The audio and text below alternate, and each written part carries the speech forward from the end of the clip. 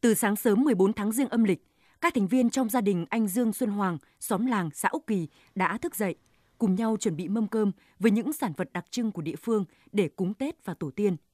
Đây không chỉ là dịp thể hiện lòng thành kính đối với tổ tiên mà còn là dịp gặp mặt, sum vầy của các gia đình, bạn bè.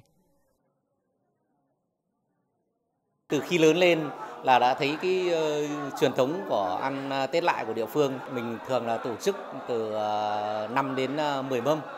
Có cái món ăn uh, truyền thống như là uh, bánh trưng xanh, các món uh, truyền thống của địa phương vẫn thường dùng. Uh, mời tất cả các uh, anh em uh, trong nội ngoại, một số các uh, bạn bè uh, thân cận. Với người dân xã Xuân Phương, cùng vào dịp ăn Tết lại, những gia đình có người trên 51 tuổi trở lên sẽ tổ chức lễ cầu khao. Các con các cháu trong gia đình bác Dương Quang Xuân cùng nhau chuẩn bị mâm lễ cúng dâng lên tổ tiên. Gia chủ trong trang phục tươm tất và thành kính lễ bái, khao thọ và cầu cho mọi người trong gia đình bình an, mạnh khỏe. Thế hôm nay nhà bác thì có hai cái việc, một là tổ chức ăn tết lại, hai nữa là bà ấy năm nay là được 60 tuổi, thế cho nên là cũng tổ chức theo làng sắp ờ, mâm cơm cúng ờ, các cụ. Sau đó là con cháu và là các bác, các má đến là uống rượu chúc mừng. Làm sao coi như là phấn đấu càng ờ, được nhiều lần khao càng tốt với những ngày như này thì à, gia đình nhà mình thì à, không biết là công việc dù bận hay là dù không bận, nhưng mà gia đình nhà mình cũng à, tập trung về nhà ông bà ngoại và nhà bố mẹ để chuẩn bị sắp mâm cơm cúng ngày rằm tháng riêng và ăn Tết lại với gia đình. Ăn Tết lại là một nét văn hóa độc đáo không phải địa phương nào cũng có. Theo tài liệu cổ được lưu truyền từ xa xưa, tục lệ ăn Tết lại gắn với công lao của anh hùng dân tộc Dương Tự Minh, người đã có công đánh đuổi giặc xâm lược, giữ vững vùng biên cương phía Bắc của Tổ quốc.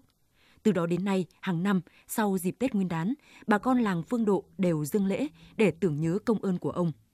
Tục ăn Tết lại xuất phát từ chính các nghi lễ này.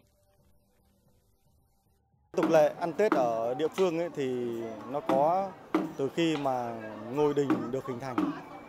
Thế thì ờ, đặc biệt là năm 1993 được nhà nước công nhận là di tích ờ, lịch sử cấp quốc gia thì người dân lại càng ờ, coi trọng đến cái nét đẹp văn hóa của đình làng. Thì cứ vào dịp 14, 15, 16 tháng riêng hàng năm thì nhân dân lại tổ chức ờ, mở hội cầu cho mưa thuận cho hòa mùa màng bội thu. Thế thì à, 100% là các con em của các gia đình của làng và đến ngày này là đều tập trung về với à, gia đình với làng để chạy hội. Tục ăn Tết lại đã trở thành nét văn hóa tín ngưỡng, bản sắc độc đáo, ăn sâu vào tiềm thức của nhiều người dân ở vùng quê Phú Bình. Qua đó, góp phần tô thắm thêm bản sắc văn hóa của một vùng đất giàu truyền thống, góp sức cùng nhau xây dựng quê hương ngày càng giàu đẹp. Chính vì vậy, ăn Tết lại là một phong tục văn hóa cổ truyền có giá trị nhân văn cao, mang đậm nếp sống của người dân lao động nông thôn cần được lưu giữ.